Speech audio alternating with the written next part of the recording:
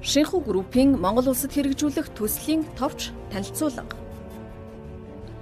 Шинхүү групп нь үл хөдлөх хөрөнгө, уул уурхай, үйл үрлэл, хөрөнгө оруулалтын салбарт үйл ажиллагаа эрхэлдэг бөгөөд нүүрс боловсруулах, нүүрснээс шингэн түлш гаргах, ус дамжуулах хоолой тавих зэрэг дэвшилтэд техник технологиороо дэлхийд тэргүүлдэг бүгд найрамдах хятад ард улсын томоохон хувийн өмчөд групп юм.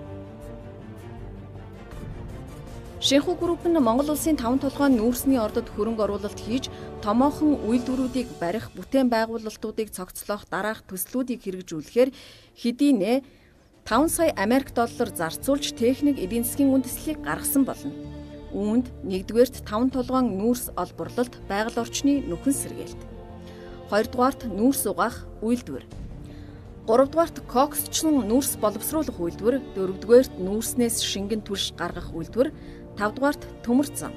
6 дугаарт усан хангамжийн төв байгууламж хүний усыг ашиглахгүйгээр өвөр Монголын өөртөө зас хорны хатан голоос ус татах. 7 дугаарт цахилгаан станц барих. Энэхүү бүтээн байгуулалтын ажлыг 100% өөрийн хөрөнгөөр буюу нийтдээ 50 орчим тэрбум Америк долларын хөрөнгө оруулалтаар 6 жилийн хугацаанд хэрэгжүүлж дуусна. Төслийн хүрээнд бүтээн байгуулалтын ажилд оролцох нийт ажилтнуудын 95% нь Монгол, нь Хятад ажилчдаас бүрдэх ба ингэснээр Монгол улсад ажилгүйдлийн төвшинг тодорхой хэмжээгээр бууруулж Монгол улсын эдийн засагт хувь нэмэр оруулж чадна гэдэгт итгэлтэй байна. Төслийн нэг хэсэг болох төмөр замын бүтээн байгуулалтыг бид Монгол улсын засгийн газар болон холбогдох бусад байгууллагын шаардлага стандартын дагуу барих болно. Ингэснээрээ Монголд үүсдэг төмөр замын нарийн болон өргөн царгийн асуудлаас зайлсхийх боломжтой болох юм.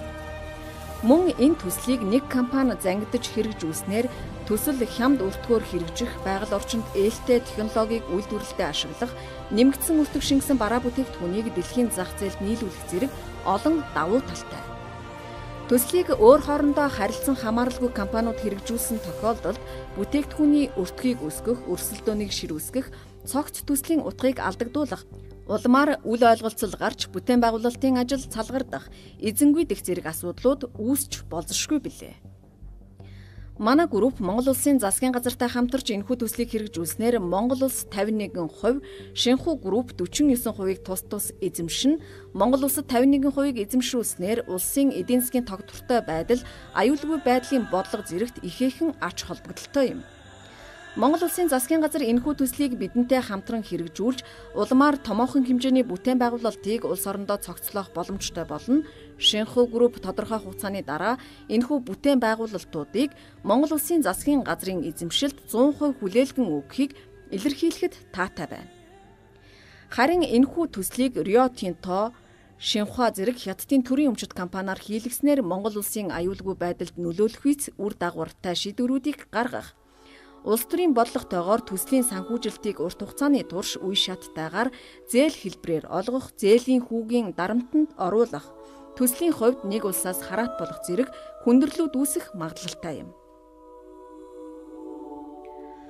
Одоогийн байдлаар уг төслийг хэрэгжүүлэхээр хүсэл гаргаад байгаа MCS Group нь Хятадын банк болон төрийн өмчит компаниудад тодорхой хэмжээгээр барьцаалагдсан байж болзошгүй байгаа нь Монгол улсын эдийн засгийг доройтуулах ихээхэн эрсдэл дагуулах магадлалтай. Тиймээс Шинхүү группийн хэрэгжүүлэхээр төлөвлөж буй энэхүү бүтээн байгуулалтын цогц төслийг Монгол улсын засгийн газартай хамтран хоёр талд хамтран ашигтайгаар хэрэгжүүлнэ. Монгол улс эдийн засгийн хямралд орсон гэж гадны байгууллага улс орноос зээл тусламж авсаар дарга нар түүнийхээ 3.2%-ийг нь ах トゥ төрөл төрөсөдтэйгөө хуваан авахаас бус улс орныхоо эдийн засгийн эргэлтэнд оруулахгүй харин ч гадаад улсад офшор бүсэд хав дардаг. Үлдсэн 3.1%-ийг дотооддоо ямар нэгэн төсөл хөтөлбөр хэрэгжүүлэх нэрийдлэр үр дүн хяналтгүйгээр салхинд хийсгэж эргээд худал мэдээллээр ард түмний тархийг угааж татврын дарамтыг нуруунд нь үүрүүлдэг.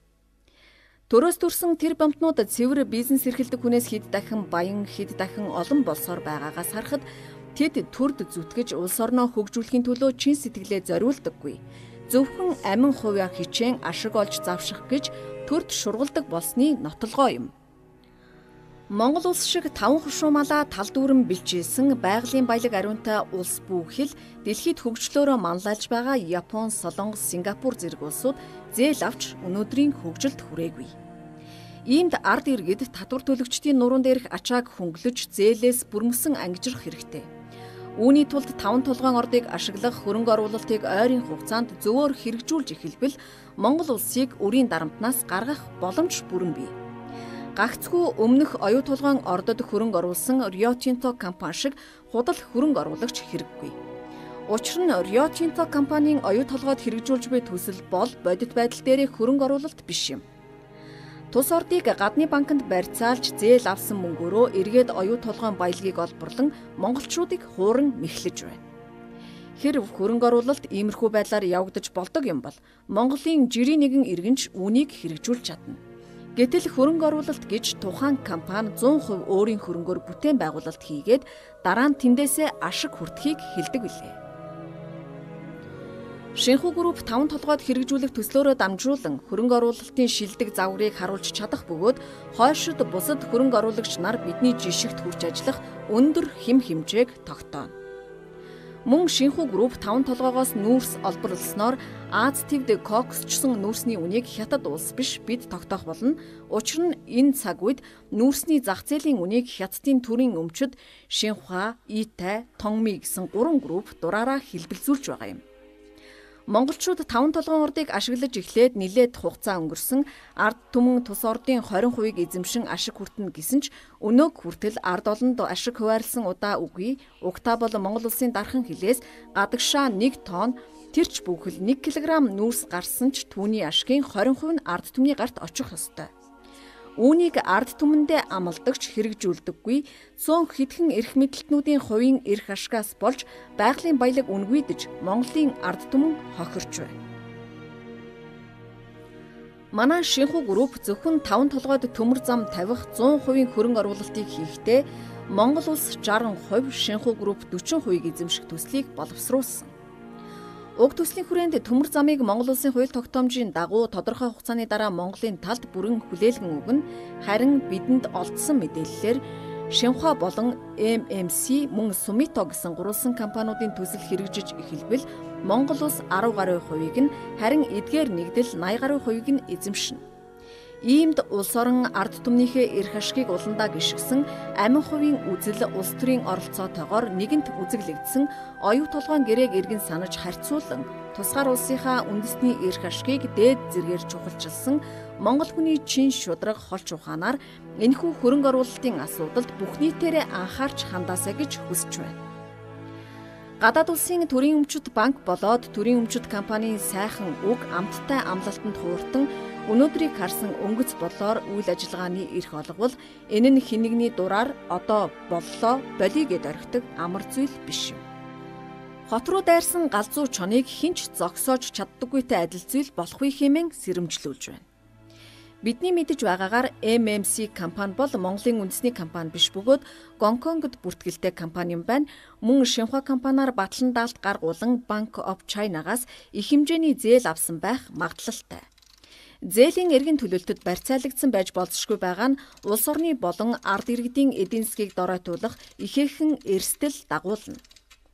Манай шинхүү группийн Монгол улсад хэрэгжүүлэх төсөлд эрх мэдэл бүхий олигарх бүлэглэл офшорчд авилгачид нөлөөлж чадахгүй. Учир нь манай групп энэхүү төслийг хэрэгжүүлэх зорилгоор 2007 оноос эхлэн Монгол улсын үе үеийн удирдлагууд болон эрх баригчдад төслөө танилцуулсаар ирсэн юм. Өнөөдрийг хүртэл бүх зүйлийг ном журмын дагуу явуулна гэдэг байр суурин дээрээ баттай зогссоор 10-ад жилийн турш тууштай зорж байгаа байгууллага бидний ард альва нам нэвсэл хин нэгэн эрх мэдэлтэн байхгүй зөвхөн бизнесийн алтан дүрмийн дагуу шудраг ил тод зарчмаар сонгон шалгаруулалтанд өрсөлдөх зорилготой.